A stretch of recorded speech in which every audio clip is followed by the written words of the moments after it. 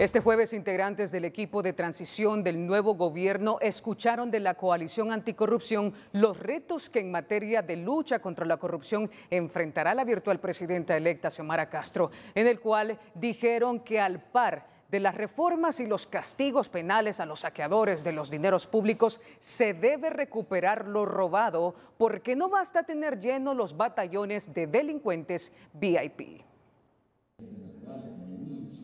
En el encuentro Transparencia y Acciones para desmontar las redes de corrupción e impunidad, retos y oportunidades del nuevo gobierno, se hizo toda una radiografía de los caminos que debe seguir la próxima administración para combatir de frente y sin reservas la herencia de corrupción e impunidad que recibirán el próximo 27 de enero. Yo creo que lo mínimo que espera es que el nuevo gobierno no se vaya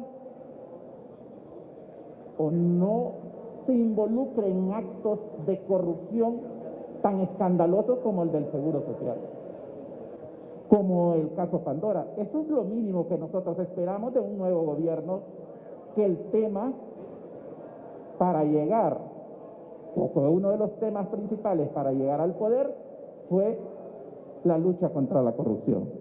Una vez que le apliquen la vacuna de la transparencia a todos los funcionarios del gobierno que encabezará la presidenta electa Xiomara Castro, el próximo paso será perseguir penalmente a los responsables del saqueo, pero sin negocios o acuerdos de impunidad partidaria, insisten. Lo que esperamos es que todas esas personas que se han visto involucradas en estos actos de corrupción, independientemente del, del color político, paguen por esos actos de corrupción yo creo que la sociedad no está dispuesta a aceptar pactos, pactos de impunidad para que esas personas no se les deduzca la responsabilidad de vida desde el derecho penal.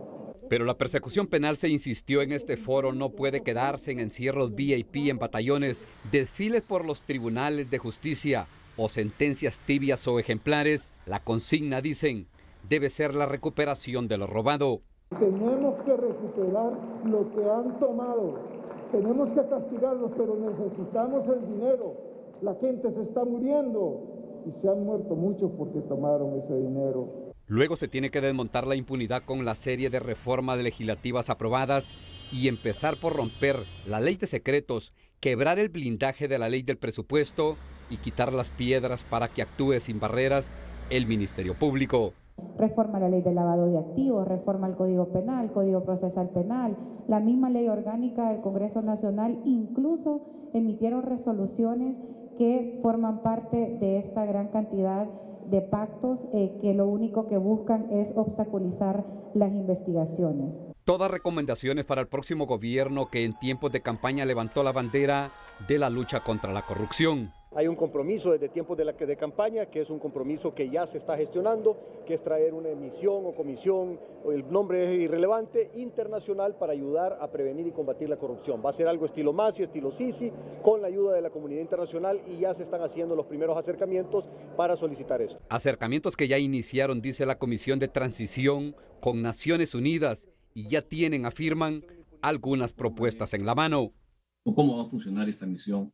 En términos prácticos, en términos eh, que generen además eh, la suficiente independencia, que es un, tema que nosotros siempre reclamábamos en el caso de la Maxi. ¿no? La Maxi ah, tuvo muchos problemas básicamente por la falta de independencia que tenía la misión en el terreno. Todo se decidía en la Secretaría General y eso era nefasto, digamos, para la propia misión. Y esto es un elemento que deberíamos corregir y, por supuesto, el gobierno de Honduras debería exigir que esto funcione de esa manera.